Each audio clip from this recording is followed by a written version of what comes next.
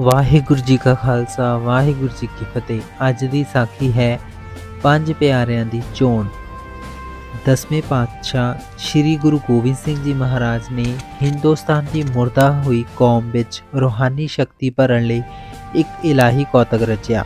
ਅਨੰਦਪੁਰ ਸਾਹਿਬ ਵਿਖੇ 1699 ਈਸਵੀ ਦੀ ਵਿਸਾਖੀ ਵਾਲੇ ਦਿਨ ਕਈ ਹਜ਼ਾਰਾਂ ਦੀ ਗਿਣਤੀ ਵਿੱਚ ਸੰਗਤਾਂ ਦਾ ਭਾਰੀ ਦੀਵਾਨ ਸਜਿਆ।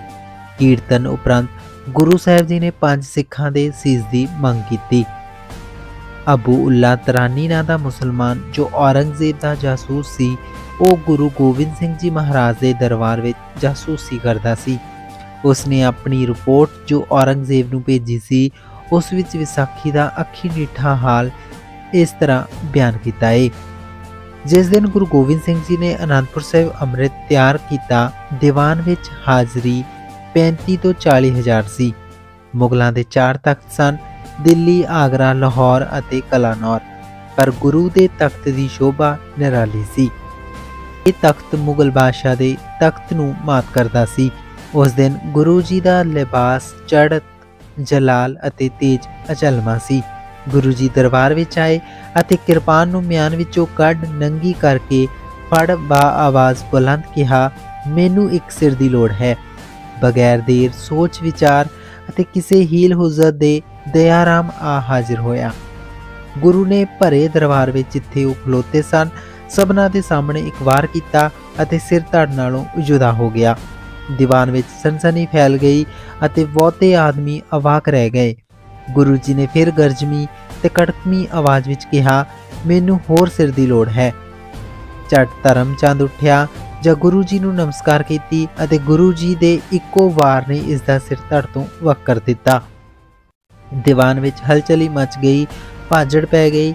ਗੁਰੂ ਜੀ ਨੇ ਫਿਰ ਬਾ ਆਵਾਜ਼ ਬੁਲੰਦ ਇੱਕ ਹੋਰ ਸਿਰ ਮੰਗਿਆ ਅਤੇ ਜਕੇ ਬਾਦ ਦੀਗਰੇ ਹਿੰਮਤ ਰਾਏ, ਮੋਕਮ ਚੰਦ ਅਤੇ ਸਾਹਿਬ ਰਾਮ ਇਹਨਾਂ ਪੰਜਾਂ ਨੂੰ ਕਤਲ ਕਰ ਦਿੱਤਾ। ਸਿਰ ਧੜਾਂ ਨਾਲੋਂ ਵੱਖਰੇ ਕਰ ਦਿੱਤੇ। ਕਈ ਆਦਮੀ ਗੁਰੂ ਜੀ ਦੀ ਮਾਤਾ ਕੋਲ ਪਹੁੰਚ ਗਏ ਅਤੇ ਸਾਰੀ ਵਿਥਿਆ ਸੁਣਾਈ। ਗੁਰੂ ਜੀ ਨੇ ਉਹਨਾਂ ਪੰਜਾਂ ਦੇ ਸਰੀਰਾਂ ਤੇ ਕੱਪੜਿਆਂ ਨੂੰ ਚੰਗੀ ਤਰ੍ਹਾਂ ਧੋ ਦਿੱਤਾ। ਫਰਸ਼ ਵੀ ਸਾਫ਼ ਕੀਤਾ ਤੇ ਖੂਨ ਦਾ ਕੋਈ ਵੀ ਦਾਗ ਕਿਤੇ ਵੀ ਨਾ ਰਹਿਣ ਦਿੱਤਾ। ਦਾ ਸਿਰ ਦੂਸਰੇ ਦੇ ਧੜ ਨਾਲ ਅਤੇ ਸਿਰ ਤੇ ਧੜ ਰਲਾ ਮਿਲਾ ਕੇ ਦੂਸਰਿਆਂ ਦਾ ਧੜਾਂ ਨਾਲ ਦੂਸਰੇ ਸਿਰ ਲਾ ਕੇ ਪਹਿਰ ਕੋ ਵਿੱਚ ਚੰਗੀ ਤਰ੍ਹਾਂ ਹਕਮਤ ਅਮਲੀ ਨਾਲ ਸਿਉਂ ਦਿੱਤੇ। ਉਹਨਾਂ ਪੰਜਾਂ ਲਾਸ਼ਾਂ ਉੱਤੇ ਚਿੱਟੇ ਕੱਪੜੇ ਪਾ ਦਿੱਤੇ ਅਤੇ ਫਿਰ ਇੱਕ ਪੱਥਰ ਦਾ ਕੁੰਡਾ ਮੰਗਵਾ ਕੇ ਉਸ ਉੱਤੇ ਲੋਹੇ ਦੀ ਇੱਕ ਕੜਾਹੀ ਜਿਸ ਨੂੰ ਕੁੰਡੇ ਨਹੀਂ ਸੀ ਲੱਗੇ ਹੋਏ, ਰੱਖ ਪਾਣੀ ਪਾ, ਆਬੇ ਹਯਾਤ ਬਣਾਉਣ ਲੱਗ ਪਿਆ। ਆਬੇ ਹਯਾਤ ਤਿਆਰ ਹੋ ਚੁੱਕਾ ਸੀ। ਗੁਰੂ ਜੀ ਨੇ ਉਹਨਾਂ ਲਾਸ਼ਾਂ ਤੋਂ ਪਰਦਾ ਚੁੱਕ, ਪਹਿਲਾਂ ਦਿਆਰਾਮ ਦੇ ਸਿਰਾਣੇ ਬੈਠ ਮੂੰਹ ਖੋਲ ਆਬੇ ਹਯਾਤ ਉਸ ਦੇ ਮੂੰਹ ਵਿੱਚ ਪਾ ਦਿੱਤਾ, ਸਿਰ ਦੇ ਵਾਲਾਂ ਵਿੱਚ ਪਾਇਆ ਤੇ ਸਾਰੇ ਸਰੀਰ ਉੱਤੇ ਛਿੜਕਿਆ ਅਤੇ ਆਖਿਆ ਬੋਲ ਵਾਹਿਗੁਰੂ ਜੀ ਕਾ ਖਾਲਸਾ, ਵਾਹਿਗੁਰੂ ਜੀ ਕੀ ਫਤਿਹ। ਇਹ ਕਹਿੰਦੇ ਸਾਰ ਹੀ ਦਿਆਰਾਮ ਉੱਠ ਕੇ ਖਲੋ ਗਿਆ ਅਤੇ ਉੱਚੀ ਸਾਰੀ ਵਾਹਿਗੁਰੂ ਜੀ ਕਾ ਖਾਲਸਾ, ਵਾਹਿਗੁਰੂ ਜੀ ਕੀ ਫਤਿਹ ਬੋਲਿਆ। ਪਰੇ ਦਰਬਾਰ ਵਿੱਚ ਸਖਤੇ ਦਾ ਆਲਮ ਛਾ ਗਿਆ। ਹਜ਼ਾਰਾਂ ਇਨਸਾਨਾਂ ਦੇ ਹੁੰਦਿਆਂ ਹੋਇਆ ਵੀ ਕੋਈ ਸਾਹ ਨਹੀਂ ਲੈ ਰਿਹਾ ਸੀ ਅਤੇ ਦੀਵਾਨ ਵਿੱਚ ਬੈਠੇ ਆਦਮੀ ਗੁਰੂ ਦੀ ਕਰਾਮਾਤ ਉੱਤੇ ਮੁਗਧ ਹੋਏ ਕਿਸੇ ਜਾਦੂ ਦੇ ਅਸਰ ਹੇਠ ਕੀਲੇ ਹੋਏ ਬੈਠੇ ਸਨ। ਇਸੇ ਤਰ੍ਹਾਂ ਉਸ ਦੇ ਬਾਅਦ ਜਕੇ ਬਾਅਦ ਦੀਗਰੇ, ਬਾਕੀ ਦੇ ਉਹਨਾਂ ਚੌਹਾਂ ਨੂੰ ਵੀ ਆਬੇ ਹਯਾਤ ਪਿਲਾ ਉਸੇ ਤਰ੍ਹਾਂ ਵਾਲਾ ਅਤੇ ਸਰੀਰ ਉੱਤੇ ਆਬੇ ਹਯਾਤ ਛਿੜਕ ਬੋਲ, ਵਾਹਿਗੁਰੂ ਜੀ ਕਾ ਖਾਲਸਾ, ਵਾਹਿਗੁਰੂ ਜੀ ਕੀ ਫਤਿਹ, ਬੁਲਾ ਉਹਨਾਂ ਨੂੰ ਵੀ ਮੁੜ ਜਿੰਦਾ ਕਰ ਦਿੱਤਾ। ਗੁਰੂ ਉਹਨਾਂ ਨੂੰ ਤੰਬੂ ਵਿੱਚ ਲੈ ਗਿਆ। ਕੁਝ ਚਿਰ ਬਾਅਦ ਗੁਰੂ ਆਪ ਵੀ ਅਤੇ ਉਹ ਪੰਜੇ ਆਦਮੀ ਪਿੱਛੇ ਪਿੱਛੇ ਤੰਬੂ ਵਿੱਚੋਂ ਬਾਹਰ ਨਿਕਲ ਆਏ। ਹੁਣ ਉਹਨਾਂ ਨਵੇਂ ਲਿਬਾਸ ਪਾਏ ਹੋਏ ਸਨ ਤੇ ਉਹ ਪੰਜੇ ਮੁੜ ਜਿੰਦਾ ਕੀਤੇ ਆਦਮੀ ਤੰਬੂ ਤੋਂ ਬਾਹਰ ਆ ਕੇ ਖਲੋ ਗਏ ਤੇ ਗੁਰੂ ਨੇ ਵੀ ਬੀਰਾਸਣ ਕਰ ਉਹਨਾਂ ਤੋਂ ਆਪ ਆਬੇ ਹਯਾਤ ਮੰਗਿਆ। ਉਹਨਾਂ ਨੇ ਪੁੱਛਿਆ, ਤੁਸੀਂ ਇਸ ਅਮੋਲ ਵਸਤੂ ਲਈ ਕੀ ਦਿੱਤਾ?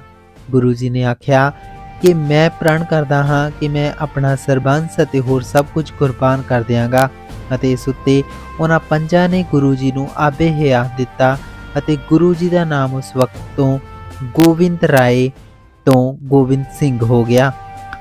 ਉਹਨਾਂ ਪੰਜਾਂ ਦੇ ਨਾਮ ਨਾਲ ਵੀ ਸਿੰਘ ਜੋੜ ਦਿੱਤਾ। ਦਿਆ ਸਿੰਘ, ਧਰਮ ਸਿੰਘ, ਹਿੰਮਤ ਸਿੰਘ, ਮੁਕਮ ਸਿੰਘ ਅਤੇ ਸਾਹਿਬ ਸਿੰਘ ਰੱਖ ਦਿੱਤਾ। ਅਬੂ ਉਲਾ ਤਰਾਨੀ ਲਿਖਦਾ ਹੈ, ਮੈਂ ਬਹੁਤ ਪਛਤਾਇਆ ਤੇ ਰੋਇਆ। ਉਸ ਤੋਂ ਬਾਅਦ ਉੱਥੋਂ ਹੀ ਹਜ਼ਾਰਾਂ ਆਦਮੀਆਂ ਨੇ ਉਹ ਆਬੇ ਹਯਾਤ ਬੀਤਾ। ਮੈਥੋਂ ਨਾ ਰਿਹਾ ਗਿਆ ਅਤੇ ਮੈਂ ਵੀ ਆਪਣੇ ਆਪ ਨੂੰ ਬੜਾ ਤਿਰਕਾਰਦਾ ਤੇ ਪਛਤਾਉਂਦਾ ਹੋਇਆ।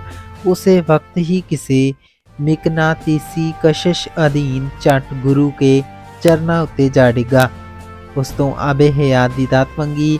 ਗੁਰੂ ਨੇ ਜਿਹੜਾ ਜ਼ਰੂਰ ਮੇਰਾ ਪਖੰਡ ਤੇ ਦੰਭ ਜਾਣਦਾ ਸੀ, ਬੜੇ ਪਿਆਰ ਨਾਲ ਮੈਨੂੰ ਥਾਪੜਾ ਦੇ ਆਬੇ ਹਯਾਤ ਪਿਆ ਕੇ ਮੇਰਾ ਨਾਮ ਅਜਮੇਰ ਸਿੰਘ ਰੱਖ ਦਿੱਤਾ।